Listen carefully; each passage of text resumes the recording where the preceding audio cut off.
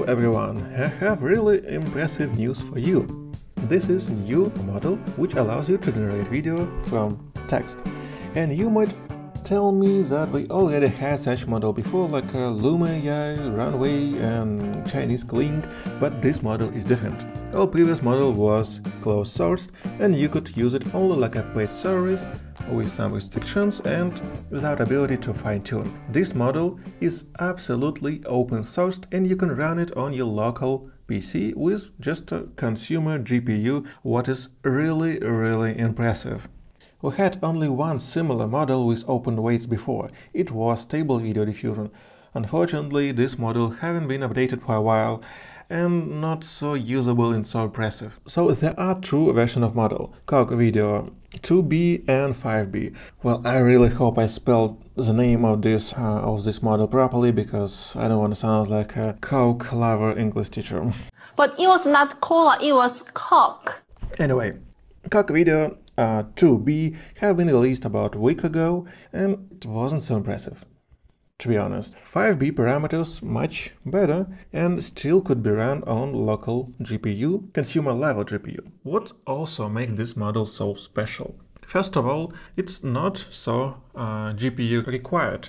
For example, for 5B model, you need only 12 gigs of RAM with diffusers and Tokyo, which is very, very reasonable. In case of using just a diffusers library, it takes about 20 gigs of RAM, and this video we will use just a diffusers library. In case of, in terms of inference speed, there is specified that single A4 generate a video with length about 6 seconds in uh, 180 seconds. Single H100 take it in a two and a half time faster. I have my 3090 Ti version and it takes about 10 minutes to generate video. Uh, also, I tried to generate video with L Tesla L4 and it takes about 12 minutes for 6 seconds video with uh, 50 steps. Also important, this model could be fine-tuned and unfortunately for this you need to have a lot of video memory, but it is not a case because you can also rent GPU for this purpose. Prompt language only English, video length specified 6 seconds. Actually, you can make more longer video, but most likely they will not be so stable. As for the frame rate, 8 frames per second and video resolution 480p. Not full HD, unfortunately, uh, not vertical resolution, unfortunately, only horizontal resolution, but to my mind it's already very impressive, especially for the first first iteration of this model. Uh, let's start with cloud usage. For this you should open Lightning AI.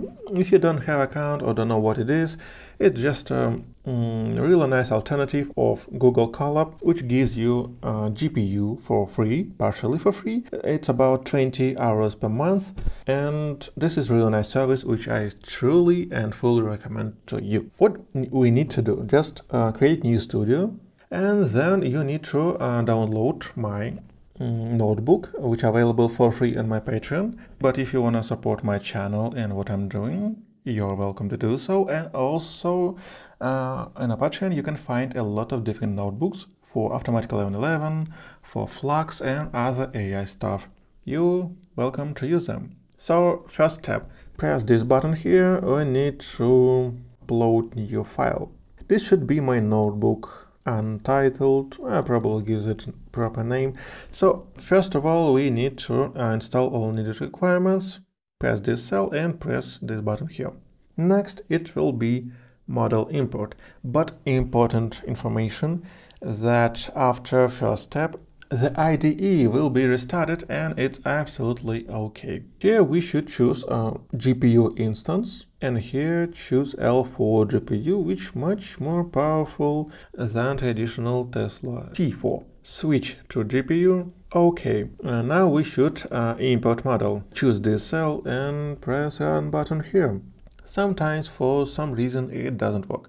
So in this case just press it several times. Okay, we imported the model and how to generate video. Mm, let's hide this stuff. Okay, uh, here you should specify a prompt in a prompt variable. In this parameter video in a pipeline, you should adjust the settings. There are plenty of settings like uh, or num inference steps, number of steps, and number of frames. You can freely experiment with this parameter. Let's uh, let's use the standard one. To run this cell, as usual, choose the cell and press run button.